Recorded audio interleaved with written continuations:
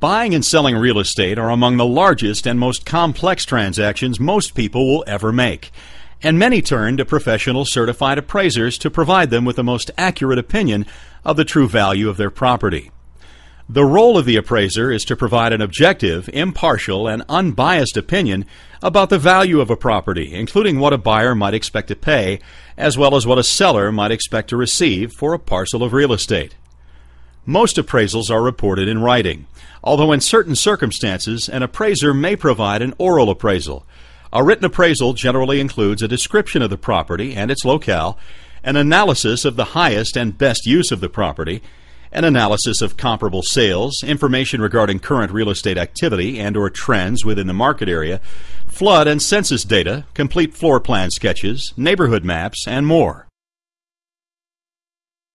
The appraisal typically starts with an inspection of the property in order to verify its condition, total living area, and total bedrooms and baths, as well as determine if any adverse external factors are present, such as close or immediate proximity to freeways, busy traffic arteries, high voltage power lines, and others that may have an adverse effect on the value of the property.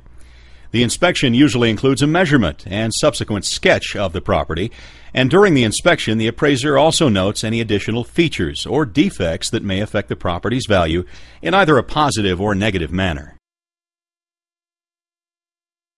After inspection, the appraiser uses two or three different approaches in determining the value of a property, including a cost approach, a sales comparison approach, and in the case of investment or rental properties, an income approach. In the cost approach, the appraiser uses information on local building costs, labor rates, and other data to estimate the cost to reconstruct the property.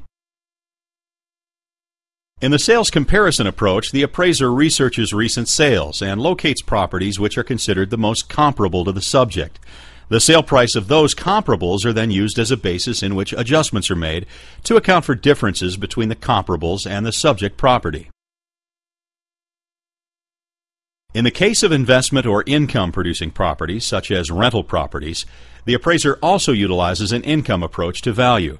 This approach determines the value of a property by calculating the amount of income a property produces over a period of time. After reconciling information from each of the different approaches to value, the appraiser is then able to provide a professional estimate of value for the subject property. The appraiser's final estimate of value is typically used as a guideline for lenders, who obviously don't care to loan a buyer more money than a property is actually worth. Whenever possible, you should only utilize the most experienced or qualified appraisers within your area, as they'll provide you with the most accurate value for your property, allowing you to make qualified real estate decisions.